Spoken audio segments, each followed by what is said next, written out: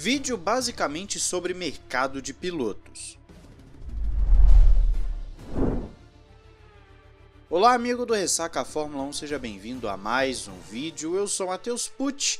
O assunto Piastre, Alpine, McLaren não venceu porque ainda tem desdobramentos e precisamos entrar nos detalhes.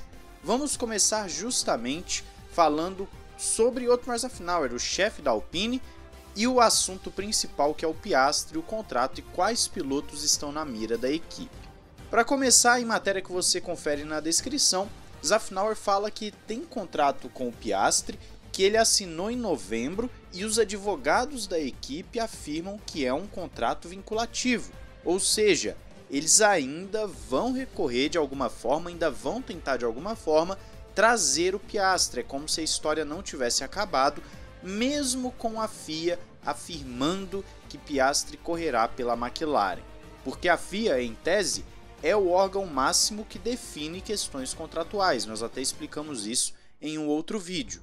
Se a FIA decidiu, não tem muito para onde ir. Só que a Alpine, pelo jeito que está sendo falado, vai tentar de alguma forma trazer o Piastre, porque entende que o seu contrato é válido e não tem essas cláusulas que acabaram se jogando contra eles mesmos. Gente vai ter que esperar para ver.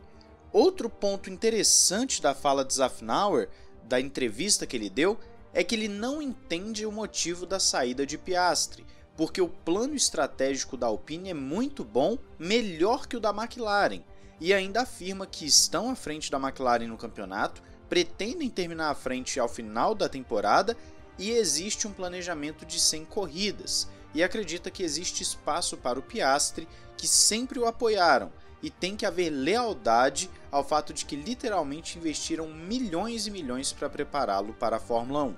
A Alpine está apelando para o lado do agente que te formou, agente que te trouxe até aqui, você deveria ficar conosco, e também citando o plano de 100 corridas, que para quem não sabe, é quando a Alpine pretende voltar a brigar na frente por vitórias e títulos.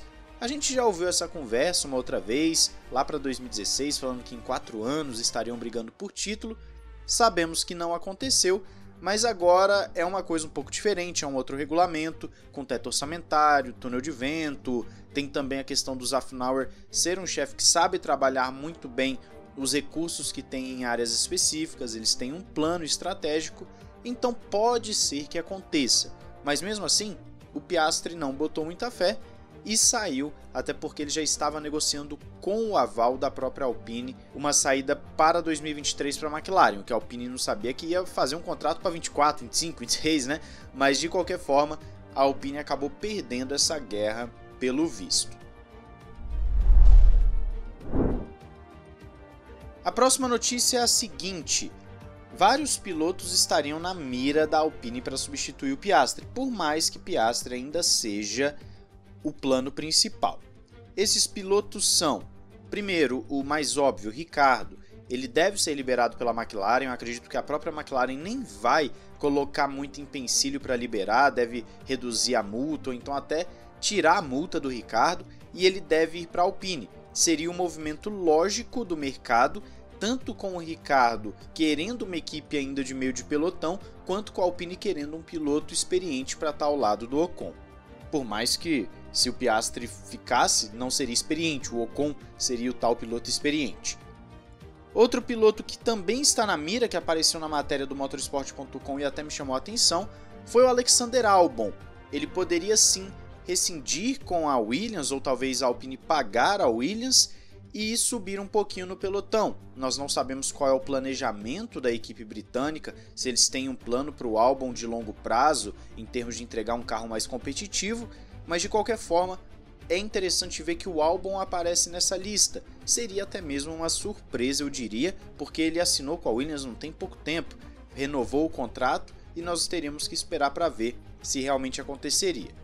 E o terceiro piloto dessa lista, que é justamente o assunto principal aqui do vídeo, é o Pierre Gasly. Ele é uma opção interessante, é francês, tem contrato para o ano que vem, mas ainda assim a AlphaTauri poderia ser convencida através de um pagamento de multa. O Gasly não está satisfeito no grupo Red Bull, nós sabemos disso já há um bom tempo. Ele vem reclamando consistentemente porque ele não tem chances na equipe principal e sabe que na AlphaTauri dificilmente vai brigar por título.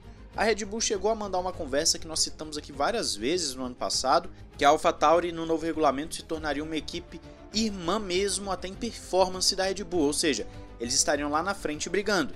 Não é o que está acontecendo agora, pelo visto a AlphaTauri vai continuar sendo apenas uma equipe de preparação para os pilotos Red Bull. É uma equipe, inclusive, que não tem a sua dupla definida. Por mais que o Gasly tenha contrato, mas o Gasly tem uma cláusula de rescisão, que eu vou entrar nela já já, e o Tsunoda ainda não está confirmado, por mais que o Helmut Marko admita que provavelmente será o Tsunoda mesmo, o piloto da AlphaTauri.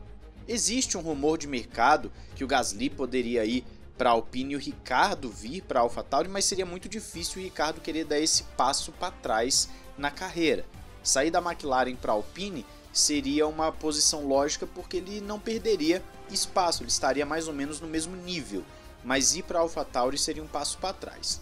Mas falando de Gasly em si, o ponto aqui é o seguinte: de acordo com matéria do Racing News e do F1 Briefings, nós temos uma curiosidade nessa situação toda, que é o que? De acordo com o relatório do Racing News 365, Gasly tem uma cláusula de rescisão que lhe permite deixar a AlphaTauri se a equipe que entrar em contato com ele estiver numa posição melhor na classificação, o que é o caso da Alpine tranquilamente. Ou seja, temos o seguinte: se o Alpine chegar para o Gasly e falar queremos você e o Gasly tiver interesse em correr ao lado, por exemplo, do Ocon, que é um cara que parece que eles têm um relacionamento meio frio e tudo mais, o que também não quer dizer muita coisa, porque ser amigo não significa que vai ter desempenho bom na pista. O Ocon e Alonso têm uma ótima amizade fora da pista, mas de qualquer forma dentro dela às vezes dão umas encontradas estranhas. A questão é que o Gasly pode então ser liberado por conta dessa cláusula. Nós não sabemos exatamente como essa cláusula está escrita, se é simplesmente uma equipe melhor na tabela chegar já está liberado, ou se tem uma redução de rescisão, de multa rescisória. Nós não sabemos exatamente como está escrito esse contrato, mas seria uma opção viável para a Alpine, já que é um francês jovem também, de uma nova geração da Fórmula 1 que tem ido bem, já até venceu corrida assim como o Ocon, pode ser uma dupla muito boa pensando para o futuro, até porque o Gasly ele tem no seu currículo performances muito fortes no meio do pelotão. Em 2022 em específico é que ele não está indo bem. A gente não sabe se é um ponto fora da curva ou se ele realmente vai se dar mal nesse regulamento até o fim dele. Mas de qualquer forma, é uma teoria que surgiu e o contrato do Gasly seria um ótimo momento para a Alpine para poder buscá-lo.